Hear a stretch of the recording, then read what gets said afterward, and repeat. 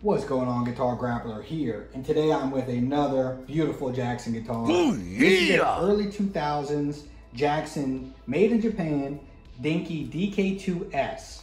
Uh, and it's a black cherry finish. At least that's what I'm. That's what I've decided on.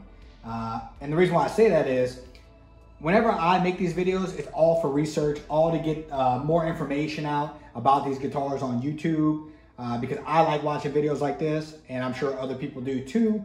And it's just good to document it and get as much information as possible. So when people pick up these guitars, maybe at like a pawn shop or something, or you see it on uh, eBay or Reverb, and you know you want to learn about it, you know you have somebody making videos and, and putting information out. So, anyways, as I do research, I'm all my Jacksons I've been able to find in the catalogs.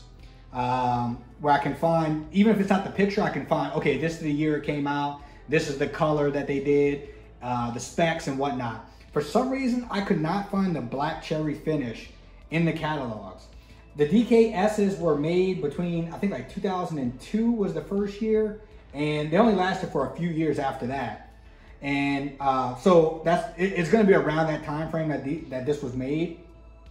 But I I just couldn't find it, you know. Um, but what I did find was I looked and I saw a forum, and basically on the forum was a bunch of guys talking about how they were buying these, but they were uh, refurbished or like they had had some type of like B stock issues to them, and they were buying them for some company who was just like, I, I guess fire sailing them because it was like I, I believe it was like a year later, or um, you know they were like an older model, and the guy said that when he received it on the box it said black cherry.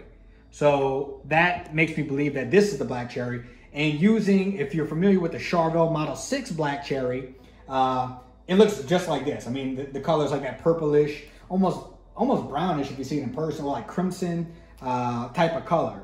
So eh, please go check out the Model 6 in black cherry. Beautiful guitar. I mean, it looks very similar to this, but um, the Tone King has one. And uh, so check that out. The Tone King, his black cherry Charvels. It's beautiful. So with all that information, I pretty much said, yeah, this is probably black cherry as well. Um, seems to be a rarer color. I do see another one listed, not in the condition that this one's in, but um, listed at a fair price too. I think it's like 600 bucks.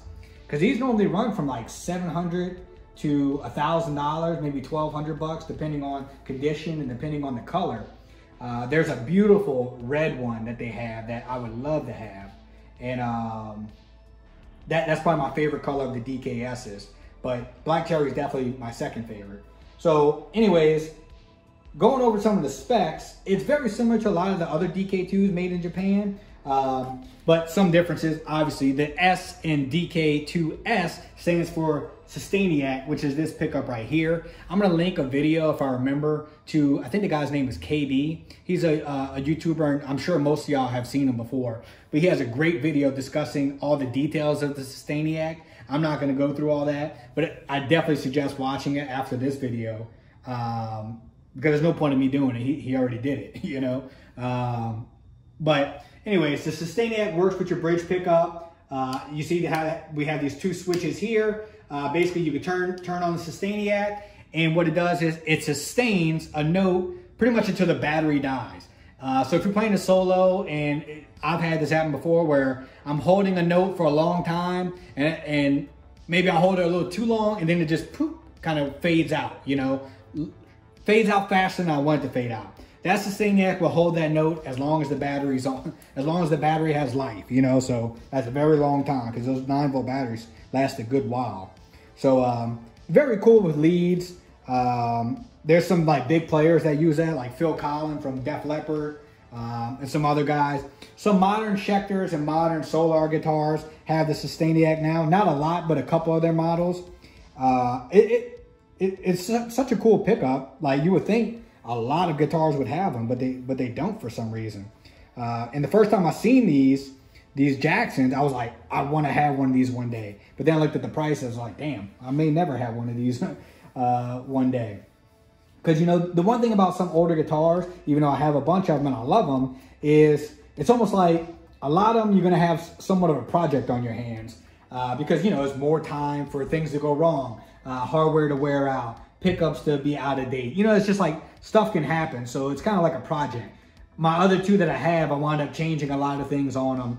Uh, you know, my old Charvel. Like, it's always some work I have to do.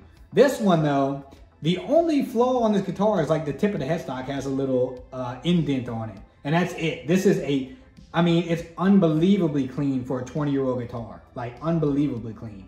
So, um, I, matter of fact, I've seen new guitars at Guitar Center sitting on the wall that's worse than this guitar.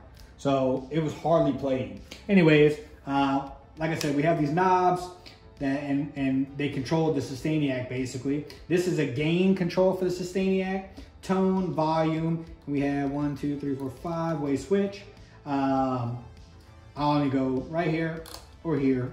And mostly I just keep it on the bridge pickup. Um, we have the J Jackson, what is it called? LP 510 or 510 LP, I believe. Jackson. Oh, JT5. Damn, I should know this because I've had a bunch of them. Damn. Anyways, I forget. But it's a low profile Jackson bridge. Um, the other ones that I've had have been in rough shape and corroded. This one is just so nice. Like, I mean, it looks almost new. It, it's it's insane. And it's a pretty good bridge. I mean, it, it definitely does its job. I, I, don't see any need to change it anytime soon. Um, I, you know, I have this guitar listed right now for sale because I just have so many guitars, but I may keep it. Like the longer I talk about it and the more I look at it, I'm like, you know what? I'm, i might just keep it for my collection. So uh, if you see this video quick and you want it, hop on it on eBay real quick because it might not be up there before I change my mind. Um, it has Duncan Design pickups. They're not the best, not the worst. They just kind of, you know, they, they, they do their job. And if I do keep it, I'll probably change the bridge. I'm, I'm probably not gonna change the middle pickup because I don't even use it, so there's no point. But I'll, I'll probably change the bridge, but it's really not necessary. The Sustainiac, like I described, it's just a cool looking pickup too. Um, I believe it's an alder body. And we have a rosewood neck, which is very common on the DK2s in Japan. Um, I love rosewood. I think it's it's my second favorite type of neck uh, fretboard aside from uh, ebony. Ebony is my favorite. But I feel like ebony is a little more, it's more of a soft wood, I feel, and can get damaged easier than what rosewood can. That that may be my own perception, that may be wrong, but uh, from all the guitars I have, that's that's how I feel. Look, I mean, look how nice and good of condition, if you can see this. The uh, the the screws are. I mean, it, it's hard. This guitar is hardly used. The beautiful old Jackson logo, and I don't know if you even be able to see it.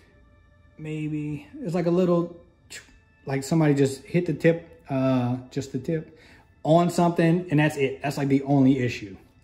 All right, now we'll flip this thing over, and we have the binding going around the neck. And then on the back, we have as you can see, the made in Japan sticker still on it, which I would say like, I don't know, maybe 10 to 20% of the guitars from this era that had the sticker still have the sticker. Like people normally peel them off or they fall off over time. We have a very cool battery compartment on these. Like this is nicer than some of the modern ones. Like my, my ESP doesn't even have a nice one like this. And that's a modern guitar, but very, very cool uh, battery holder. We have the nice cutaway with the serial number. Uh, it's a 9-6 serial number, but it's not a 1996 guitar. Uh, let's see, we have a beautiful maple neck. There's a lot of like figuring in this neck, if you can see. Man, beautiful, beautiful neck. And then we have the Jackson branded tuners, which get the job done. It's not Gotoh, but actually they might actually be made by Gotoh, but Jackson branded.